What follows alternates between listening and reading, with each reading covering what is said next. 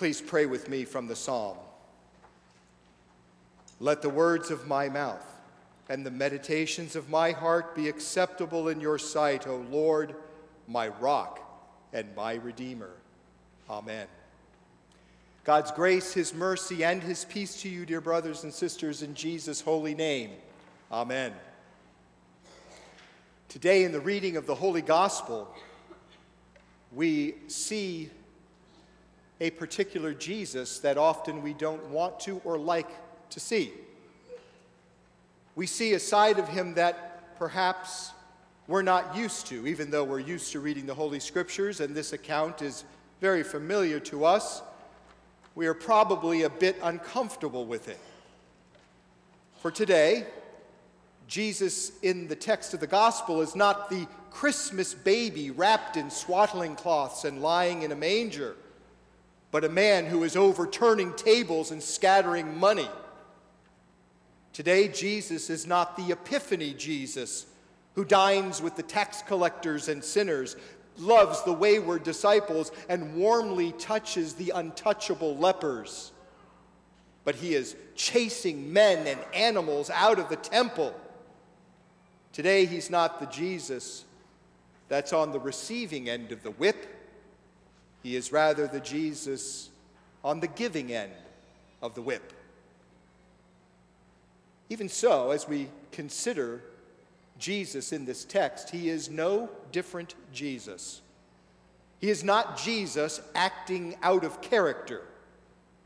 This is Jesus still living, still loving, and same as always, in love and compassion.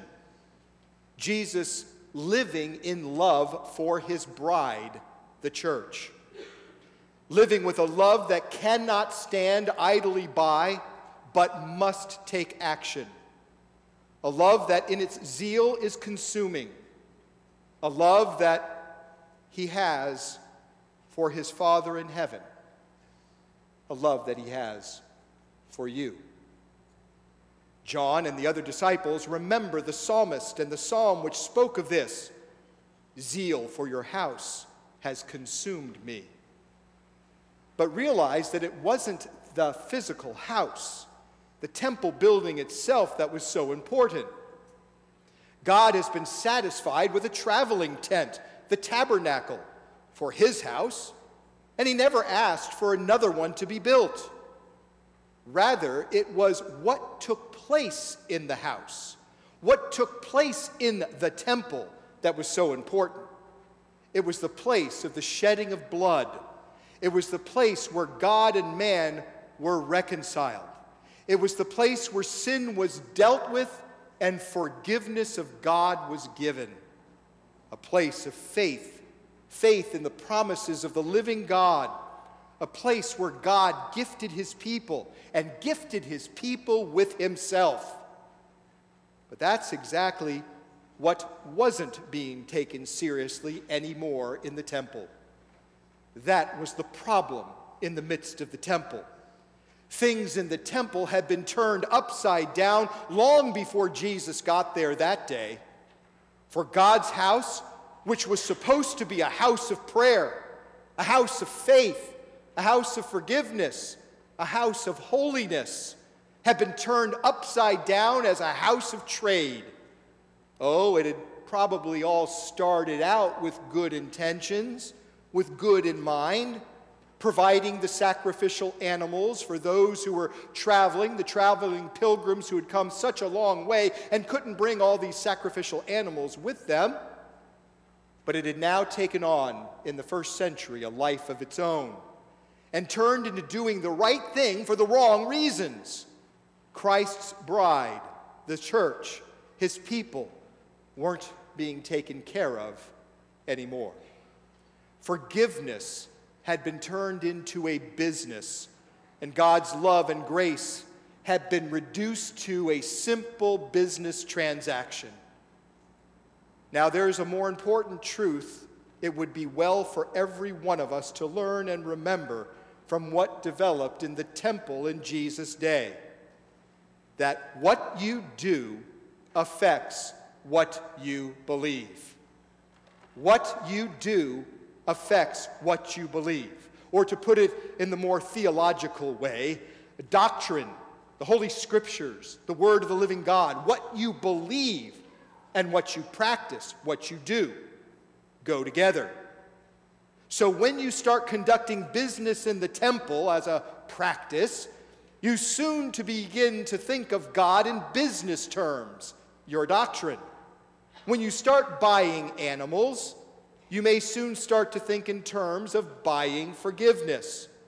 And while everything on the surface may look good and right and outstanding and upstanding on the outside, what you do on the inside, in the heart, what you believe, everything becomes wrong. That danger is still very present for us today as well. Very real for us today in the church and in our lives. It is very dangerous to think that I can, however I want, and as long as I want to live the way I want to live, how I want to live, and believe the right thing, and then it's okay. Because if you live as if God did not matter, and if you mattered the most, you know what will begin to happen, don't you? Pretty soon, God will not matter at all. If you live as if the people around you don't matter, pretty soon, they won't. What we do affects what we believe. That's why the church has always been careful with her liturgy and her practices. From the first century, from the ascension of Jesus on, the church has always been careful with her liturgy and her practice. What we do here, what we do here affects what we believe in here, in our hearts. Make no mistake about it. And the opposite is true also. What we believe will affect what we do. Because what lives in your head and what lives in your heart will work itself out in your actions. Our liturgy and our lives not only affect what we believe, they also reflect what we believe.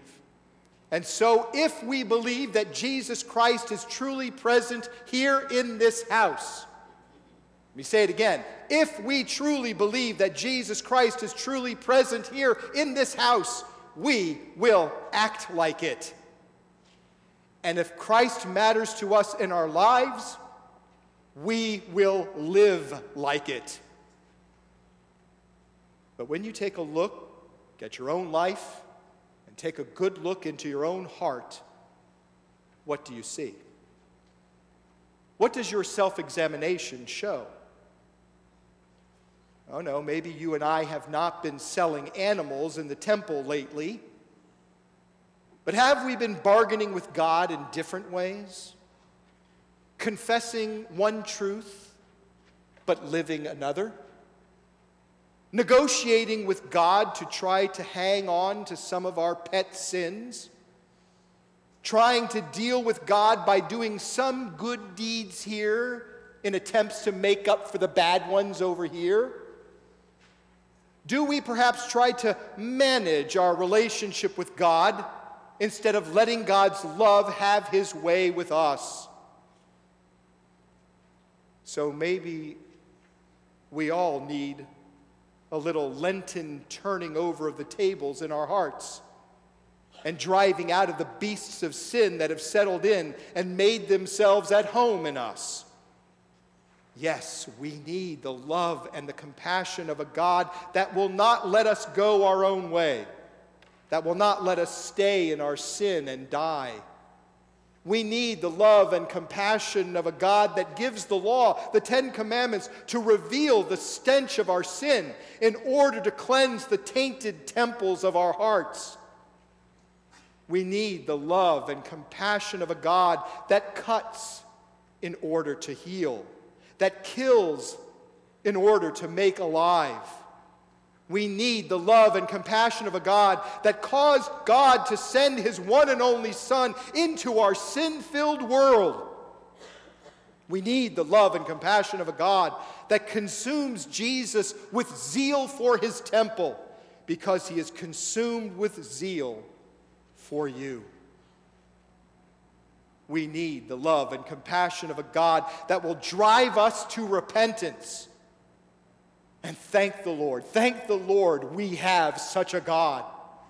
A God who is completely consumed with you, with your forgiveness, with your reconciliation to Him, who cares about everything, even the smallest details of your life, who cares about how you live who cares about the things you do? Who cares when he sees you wandering away? Who cares when he sees you hurting yourself in the very things that might seem harmless to you? Who cares so much?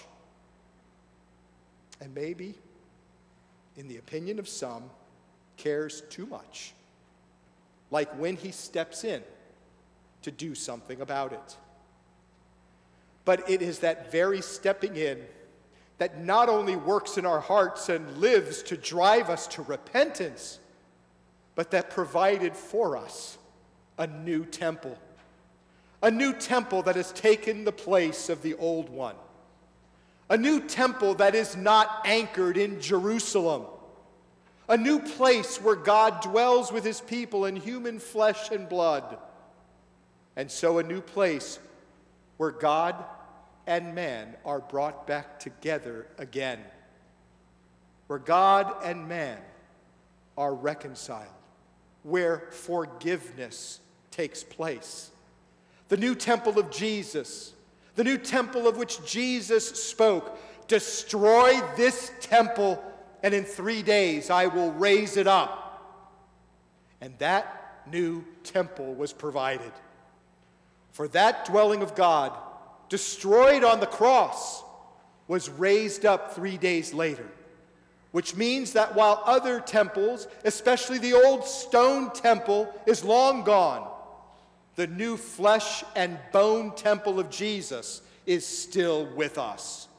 And it will always be with us.